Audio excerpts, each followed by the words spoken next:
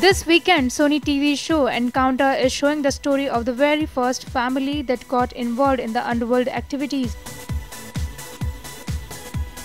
It's about a family from Bihar who got a strong foothold in Mumbai. The storyline features actor Mita Vashisht playing the role of a powerful woman who makes her own gang and includes her children into it.